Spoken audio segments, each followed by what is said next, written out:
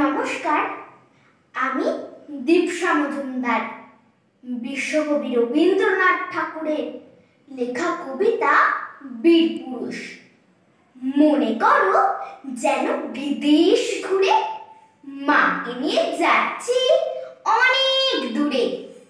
তুমি যাচ্ছ পালকিতে মা চড়ে, দরজা দুটো একটুকু ফাঁক করে।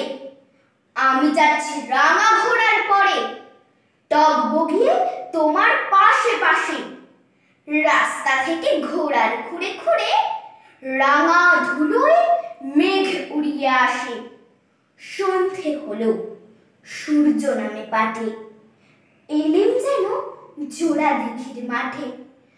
ধু ধু করে যেদিক পানি চাই, কোনোখানে জনমানব নাই। তুমি যেন আপন মনে তাই ভয় পেয়েছ? ভাবছ এলেম কোথা? আমি বলছি, ভয় করো না মাগো। ওই দেখা যায় মরা নদীর সোতা।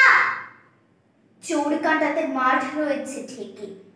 মাঝখানেতে পথ গিয়েছে বেঁকে গরু, বাছুর নেই কোনোখানে। সন্ধে হতে গেছে গাঁয়ের পানি। আমরা কোথায় যাচ্ছি? কে তা জানে? অন্ধকারে দেখা যায় না ভালো। তুমি যেন বললে আমায় ডেকে, দেখি ধারে ওই যে কিসের আলো? এমন সময় হারে রে ওই যে কারা আসতেছে ডাকছে।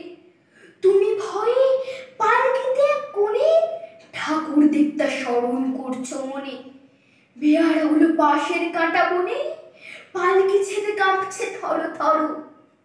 আমি যেন তোমায় বলছি ডেকে, আমি আছি। ভয় কেন মা করো? হাতে লাঠি, মাথায় ঝাঁকড়া চুল, কানে তাদের গোঁজা জবার ফুল। আমি বলি, দাঁড়া, খবরদার এক পা কাছে আসিস যদি আর এই যে দেখ আমার তলোয়ার টুকরো করে দেবো তোদের সেরে শুনে তারা লম্ফ দিয়ে উঠে চেঁচিয়ে উঠল তুমি বললে যাস না খোকা ওরে। আমি বলি, দেখো না চুপ করে। ছুটিয়ে ঘোড়া গেলেন তাদের মাঝে, ঢাল তলোয়ার ঝনঝনিয়ে বাজে। কি ভয়ানক লড়াই হলো মাঝে, শুনে তোমার গায়ে দেবে কাঁটা। কত লোক যে পালিয়ে গেল ভয়ে কত লোকের মাথা পড়ল কাটা। এত লোকের সঙ্গে লড়াই করে ভাবছ, খোকা গেলই বুঝি মরে। আমি তখন রক্ত মেখে থেমে বলছি এসে, লড়াই গেছে থেমে। তুমি শুনে পালকি থেকে নেমে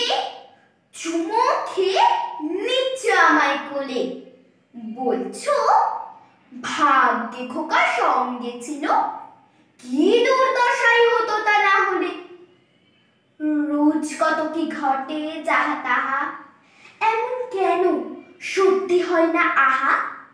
ঠিক যেন এক গল্প হতো তবে। শুনতো যারা অবাক হতো সবে। দাদা বলতো, কেমন করে হবে? খোকার গায়ে এত কি জোর আছে পাড়ার লোকে বলতো শুনে। ভাগ্যে খোকা ছিল মায়ের কাছে। নমস্কার।